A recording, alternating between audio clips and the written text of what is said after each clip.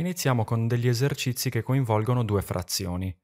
Per fare questo calcolo dovremo calcolare il minimo comune multiplo tra i denominatori delle frazioni e questo sarà il denominatore della frazione risultato, tra 6 e 4 e 12.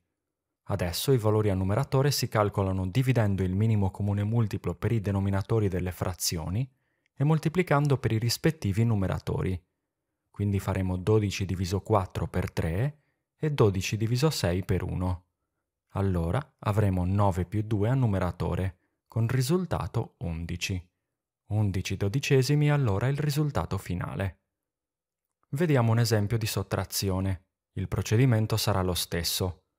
Fra 20 e 35 il minimo comune multiplo è 140.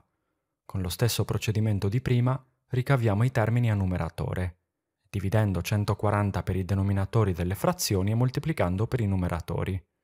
Otteniamo 49 meno 8 con risultato 41. La frazione ottenuta non è semplificabile ed è il risultato finale. Vediamo adesso come eseguire rapidamente il calcolo tra un numero intero e una frazione. Per fare 5 più 3 decimi agiremo in questo modo. Il denominatore sarà 10, perché è l'unico fra questi due numeri. Teoricamente anche il 5 ha un denominatore, 1, ma possiamo trascurarlo perché il minimo comune multiplo tra un numero A e 1 è sempre A.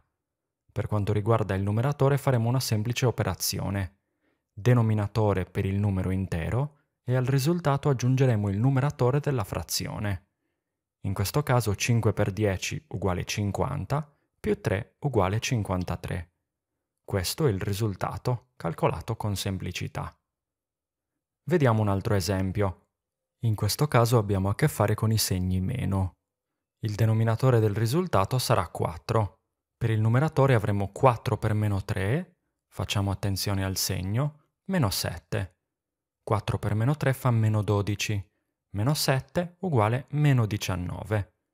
Il segno meno possiamo assegnarlo alla frazione ottenendo il risultato finale. Vediamo alcuni esercizi con tre o più frazioni. Procederemo sempre allo stesso modo, calcolando il minimo comune multiplo tra i denominatori e poi ricavando i termini per fare i calcoli a numeratore. Fra 3, 7 e 5 il minimo comune multiplo è 105. Dividendo questo valore per i denominatori delle frazioni e moltiplicando per il numeratore, otteniamo 140 più 15 meno 42. Svolgendo i calcoli si ricava 113 fratto 105, risultato finale del calcolo. Vediamo ora una piccola espressione con somme e sottrazioni.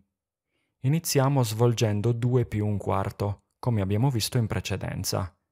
Il denominatore del risultato sarà 4, mentre a numeratore avremo il risultato di 4 per 2, 8, più 1, quindi avremo 9. Fra parentesi dovremo fare il minimo comune multiplo tra 5 e 2, 10, e poi svolgere i calcoli a numeratore, ottenendo 4 meno 15. Il risultato è meno 11 decimi. Ora possiamo togliere la parentesi cambiando il segno della frazione, a causa della presenza del meno. Ci resta da fare questa somma. Il denominatore del risultato sarà 20, minimo comune multiplo tra 4 e 10. A numeratore, col solito procedimento, otteniamo 45 più 22. Svolgendo questa somma si ottiene 67 ventesimi, risultato finale di questa breve espressione.